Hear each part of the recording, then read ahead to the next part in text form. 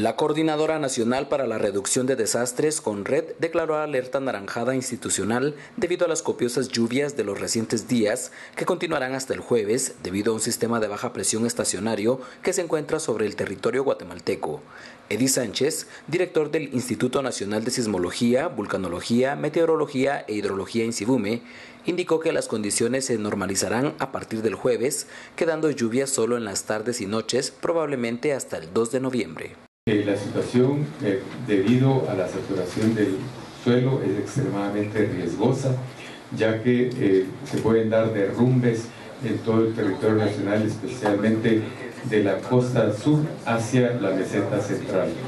el sistema está estacionario sobre el territorio, razón por la cual esperamos que las lluvias continúen y especialmente el día de hoy para el día miércoles ir ya atenuándose un poco para el día jueves. Del 12 al 19 de octubre, la CONRED tiene contabilizados 12 incidentes y se reportan 70.926 personas afectadas y 72 damnificadas, así como una fallecida en Chirejul, Caabón, Altaverapas. Además, hay 72 viviendas con daños leves y una con daño severo. Para DCATV informó Jardín Yelmo. you.